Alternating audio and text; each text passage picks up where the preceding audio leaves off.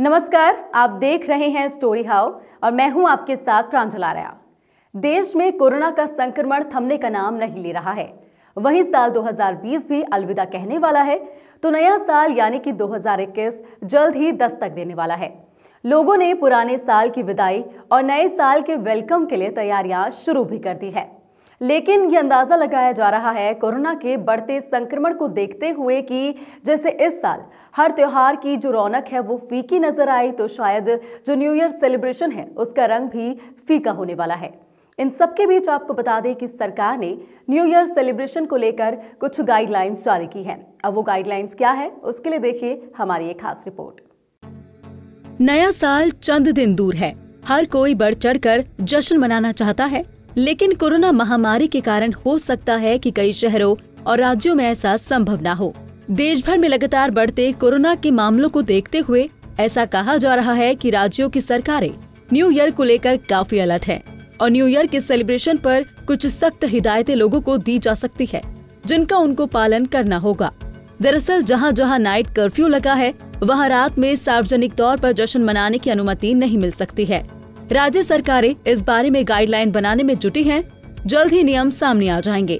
ताज़ा खबर राजस्थान से है। यहाँ कांग्रेस सरकार के मुख्यमंत्री अशोक गहलोत ने संकेत दिए हैं कि प्रदेश वासियों को नए साल का जश्न मनाने की अनुमति नहीं दी जाएगी।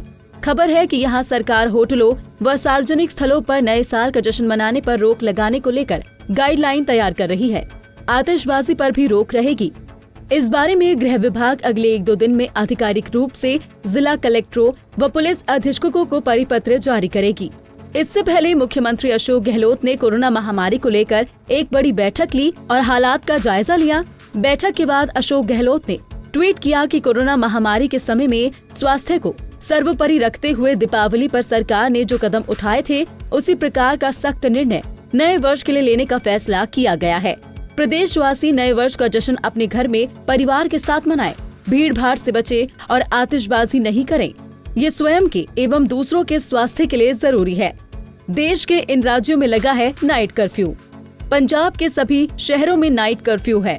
राजस्थान में आठ जिलों मुख्यालयों में नाइट कर्फ्यू है। इनमें जयपुर जोधपुर अजमेर बीकानेर कोटा अलवर उदयपुर भिलवाड़ा शामिल है।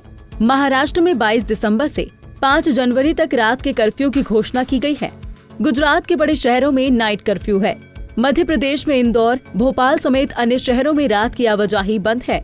वहीं ऐसी संभावनाएँ जताई जा रही है कि क्रिसमस सेलिब्रेशन और न्यू ईयर पर सरकार की ओर से ये गाइडलाइंस जारी कर दी जाएगी। अगर ऐसा होता है तो हर किसी को कोरोना की इन गाइडलाइंस का पालन करना होगा हर हाल में। तो वहीं इन गाइडलाइंस में ये तो अनिवार्य होगा कि मास्क पहने और दूरी का ध्यान रखें। साथ ही भीड़ इकट्ठी नहीं होनी चाहिए। लेकिन ये भी देखना होगा कि अब सरकार इस न्यू ईयर सेलिब्रेशन के लिए और कौन कौन से एहतियात बरतते हुए नज़र आती है। हम आपसे ये ज़रूर जानना चाहेंगे कि आप अपना नया साल यानी कि 2021 कैसे मनाने वाले हैं, हमें कमेंट करके ज़रूर बताएँ। फ़िलहाल के लिए इस वीडियो में इतना ही।